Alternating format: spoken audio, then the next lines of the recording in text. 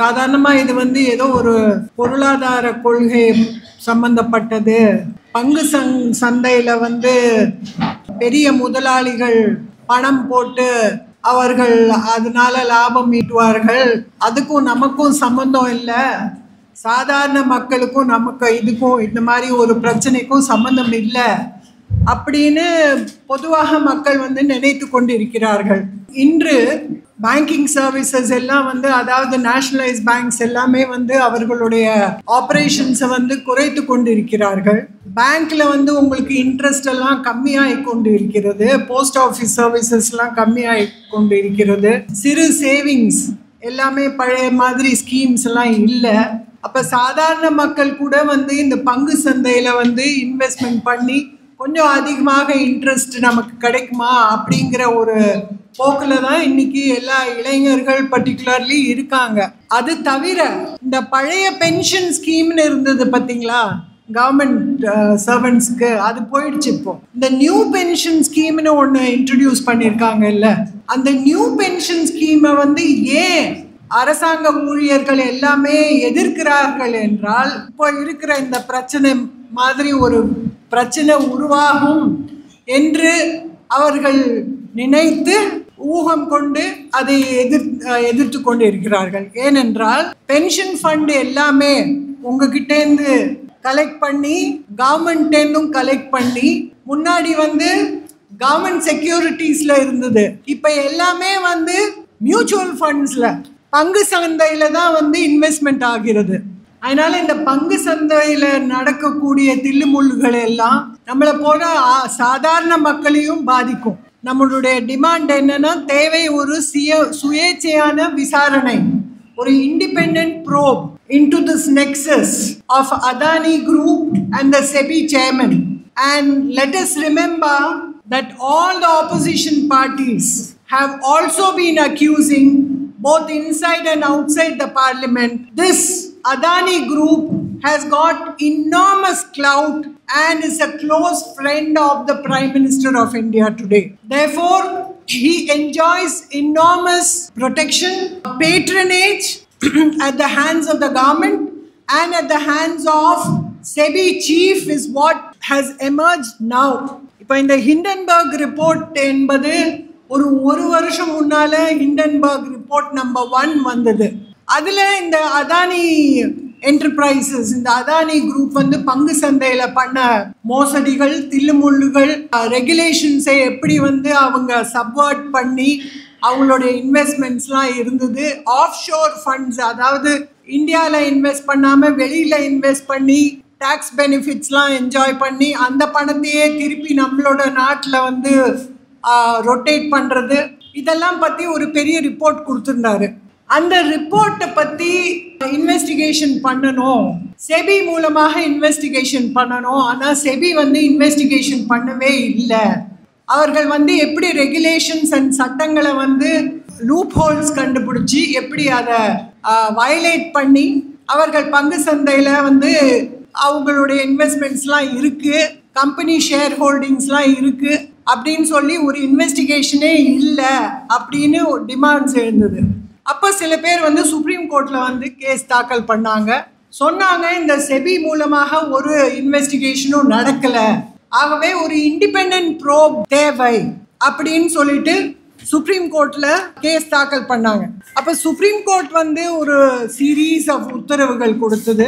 முதல்ல வந்து two thousand twenty த்ரீல ஒரு உத்தரவு போட்டாங்க. அதில் என்ன சொன்னாங்க? We form a committee we it is necessary To strengthen the regulatory f- framework. So the committee should give recommendations after investigating whether there has been a regulatory failure. SEBI மூலமாக regulatory failure இருந்ததா in dealing with the alleged contravention of laws pertaining to the security market in relation to Adani Group. Adani Group மூலமாக இந்த சட்ட வயலேஷன்ஸ்லாம் இருந்ததை பற்றி SEBI மூலமாக ப்ராப்பராக investigation நடந்ததா நடக்கலையா? அப்படின்னு சொல்லி இந்த எக்ஸ்பர்ட் குரூப் குரூப் விசாரித்து எங்களுக்கு ரிப்போர்ட் கொடுக்கணும்னு சொன்னாங்க. ஆனால் இன்வெஸ்டிகேஷன்லாம் நடந்து டூ தௌசண்ட் டுவெண்ட்டி ஃபோரில் திருப்பி கோர்ட்டில் வந்தபோது என்ன சொன்னாங்க? இந்த கமிட்டியும் ரிப்போர்ட் கொடுக்கணும் செபியும் ரிப்போர்ட் கொடுக்கணும்னு சொன்னாங்க. செபி வந்து ஒரு ரிப்போர்ட் கொடுத்தது. நாங்கள் இருபத்தி நாலு இன்வெஸ்டிகேஷன் ஆரம்பித்தோம் அதானி குரூப்புக்கு அகேன்ஸ்டா அதில் இருபத்தி ரெண்டு இன்வெஸ்டிகேஷன் முடிஞ்சு போச்சு. இன்னும் இரண்டு இன்வெஸ்டிகேஷன் பெண்டிங்காக தான் இருக்குது என்ன அந்த இன்வெஸ்டிகேஷனோட ரிசல்ட்டுன்னு இது வரைக்கும் சொன்னதில்லை.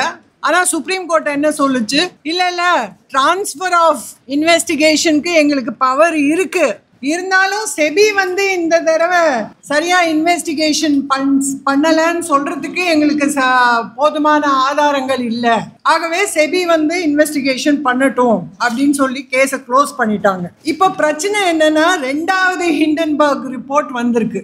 நம்ம என்ன பார்க்கணும்னா பப்ளிக் இன்ட்ரெஸ்டை எப்படி ப்ரொடெக்ட் பண்ணுறாங்க இந்த செபி? அதுதான் நம்மளுடைய concern as an ordinary person how is SEBI functioning SEBI என்பது இந்த மார்க்கெட் இன்வெஸ்டர்ஸ்க்கு பங்கு சந்தை மார்க்கெட்டை ரெகுலேட் பண்ற ஒரு மொனாபுலி அத்தாரிட்டி நம்மளுடைய கண்ட்ரியில் ஒன்லி அத்தாரிட்டி இப்போ சிபிஐங்கிற மாதிரி எலெக்ஷன் கமிஷனுங்கிற மாதிரி யூபிஎஸ்சிங்கிற மாதிரி பங்கு சந்தையை ரெகுலேட் பண்ற only authority in our country is SEBI it has got enormous powers அந்த செபியில் வந்து யார்? It is governed by a board of governance and headed by a chairperson அப்போ அந்த சேர்பர்சன் வந்து அவங்களுடைய இன்டெகிரிட்டி அவங்களுடைய நாணயம் கொஞ்சம் கூட வந்து களங்கமே இல்லாமல் இருக்கணும். சந்தேகத்துக்கே உட்படக்கூடாமல் அவங்க நடந்துக்கணும். இதுதான் வந்து முக்கிய ஆதாரம். இப்போ வந்து ஒரு நீங்கள் கோர்ட்டில் நான் வழக்கறிஞர். இப்போ நான் ஒரு நீதிபதி முன்னாடி கேஸ் நடத்துகிறேன்னு வச்சுக்கோங்க. என்னோட எதிரி வந்து அவரோட நண்பராக இருந்தால் அப்போ நான் அந்த நீதிபதி எனக்கு நியாயம் வழங்குவார்னு எப்படி நான் நினைப்பேன்? அதே தான் இந்த கேஸில் நடக்குது. இந்த மாதவி புச்சுங்கிறவங்க ரெண்டாயிரத்தி பதினேழில் செபி மெம்பராக ஆகிறாங்க. சேர்பர்சனாகவும் நியமிக்கப்படுகிறார்கள். இது வரைக்கும் கன்வென்ஷன் என்னன்னா no chairperson so far has been appointed who is from the corporate world. அதாவது கார்ப்பரேட் வேர்ல்டில் பங்கு சந்தையில் உங்களுக்கு ஒரு இன்ட்ரெஸ்ட் இருக்கிற ஒரு ஆளை பிஸ்னஸ் பண்ணி கொண்டு இருக்கிற ஒரு ஆளை செபியோட சேர்மனாக இதுவரைக்கும் அப்பாயிண்ட் பண்ணதில்லை. திருமதி மாதவி புட்ச் தான் first person who is from that world அவங்களுக்கும் அதானிக்கும் தொடர்பு இருக்கிறது. அதானியோட கம்பெனிக்கும் அவங்களுக்கும் தொடர்பு இருக்கிறது. அவங்களுடைய ஆஃப் ஷோர் ஃபண்ட்ஸில் இவங்க இன்வெஸ்ட்மெண்ட் பண்ணியிருக்காங்க. இவங்களுக்கு ரெண்டு கன்சல்டன்சி ஃபார்ம்ஸ் இருக்குது ஒன்று சிங்கப்பூரில் ஒன்று இந்தியாவில் அந்த சிங்கப்பூர் ஃபார்ம்ஸுக்கும் இந்தியா ஃபார்ம்ஸுக்கும் அதானி என்டர்பிரைசஸ்க்கும் தொடர்பு இருக்கிறது. இப்படியெல்லாம் வந்து அந்த ஹிண்டன்பர்க் ரிப்போர்ட்டில் சொல்கிறாங்க அதுக்கு பதில் யார் கொடுக்கணும்? ஏன்னா இந்த மாதவி பூச்சை அப்பாயிண்ட் பண்ணது கவர்மெண்ட் மாதவி பூச் வந்து அப்பாயிண்ட் பண்ணுவதற்கு முன்னால கவர்மெண்ட்டுக்கு அதாவது ஃபைனான்ஸ் மினிஸ்ட்ரிக்கு இல்லை கேபினட் கமிட்டிக்கு எனக்கும் அதானி என்டர்பிரைசஸ்க்கும் இல்லை அதானி ஃபண்ட்ஸுக்கும் இந்த மாதிரி தொடர்புகள் இருந்ததா? இல்லை நானே வந்து கன்சல்டன்சி ஃபார்ம்ஸ் நினச்சி இந்த மாதிரி இன்வெஸ்ட்மெண்ட்லாம் பண்ணுங்கன்னு அட்வைஸ் பண்ணி கொண்டிருந்தேன் அப்படின்னு நீங்கள் மினிஸ்ட்ரிக்கு இன்ஃபார்ம் பண்ணியிருக்கீங்களா நீங்கள் கவர்மெண்ட்க்கு இன்ஃபார்ம் பண்ணியிருக்கீங்களா ஏனென்றால் மெம்பர்ஸ் அண்ட் சேர்பர்சனோட நடத்தையை கட்டுப்படுத்துறதுக்கு ஒரு code on conflict of interest of members of the போர்டுன்னு ஒரு கோடு இருக்கிறது. அந்த கோடில் என்ன சொல்கிறாங்க the member shall not hold any office of profit அதாவது கவர்மெண்ட்டில் வேறு ஏதாவது நீங்கள் வேலை பார்க்கக்கூடாது. இன்னொன்று என்ன சொல்கிறாங்க shall not engage in any other professional activity which entails receipt of salary or professional fees Hindenburg report என்ன சொல்கிறாங்க அவங்க கன்சல்டன்சி ஃபார்ம் மூலமாக ப்ரொஃபஷனல் ஃபீஸ் அதாவது பல கோடி டாலர்ஸ் போன வருஷம் வரைக்கும் ஏர்ன் பண்ணியிருக்காங்க அந்த கன்சல்டன்சி ஃபார்ம்ஸ் அந்த consultancy firms investment firms so இந்த செபி எதை கண்ட்ரோல் பண்ணுதோ அந்த வேலையை பார்க்குறாங்க அந்த கன்சல்டன்சி மூல் மூலமாக. அப்போ நமக்கு சாதாரண மக்களுக்கு எப்படி வந்து இந்த சேர்மன் வந்து நாணயமாக நடந்துக்கிறாங்க? இவங்க வந்து அதானி மேலே இருக்க குற்றச்சாட்டை வந்து ஒரு பாரபட்சம் இல்லாமல் இம்பார்ஷியலாக அவங்க இன்வெஸ்டிகேஷன் பண்ணுவாங்க.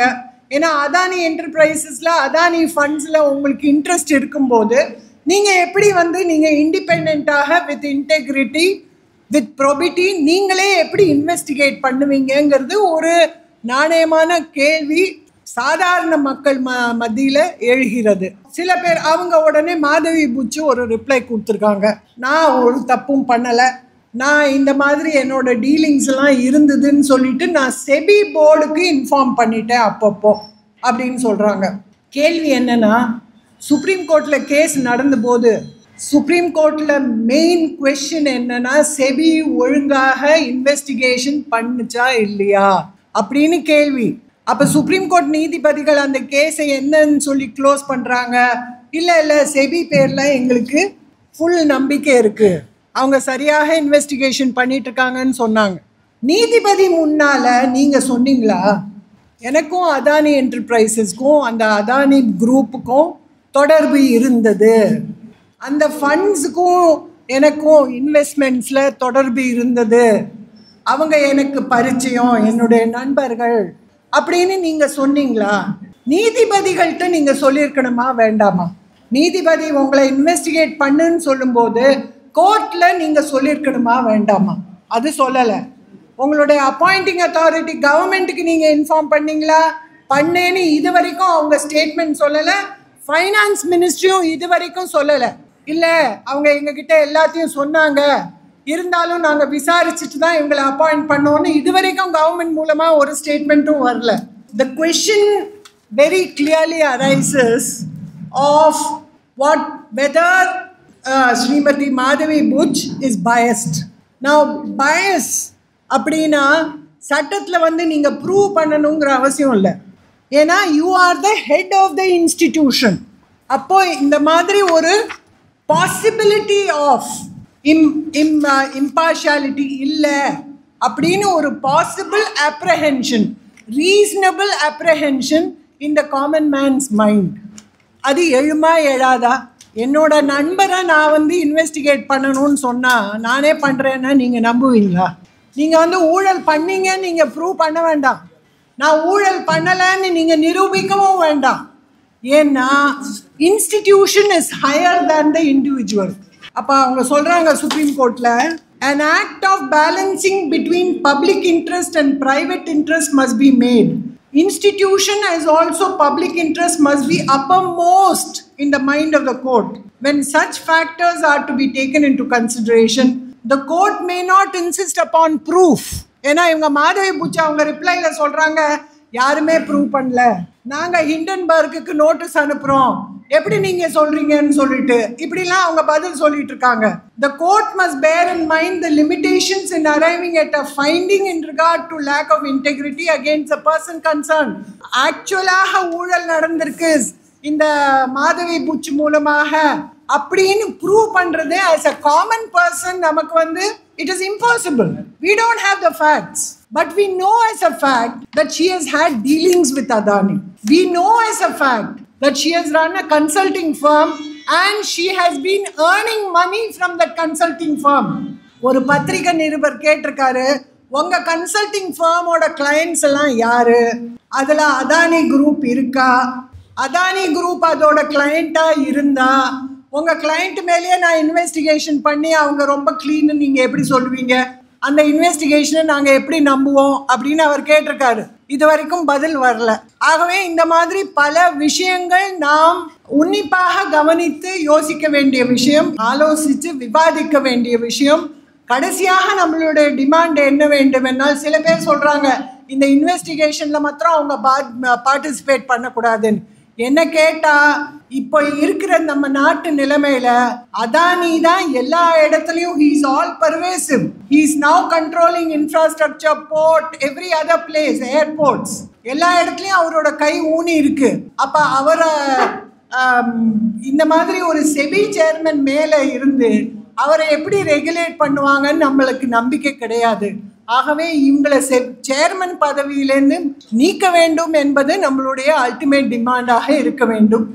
நான் எனக்கு பின்னால்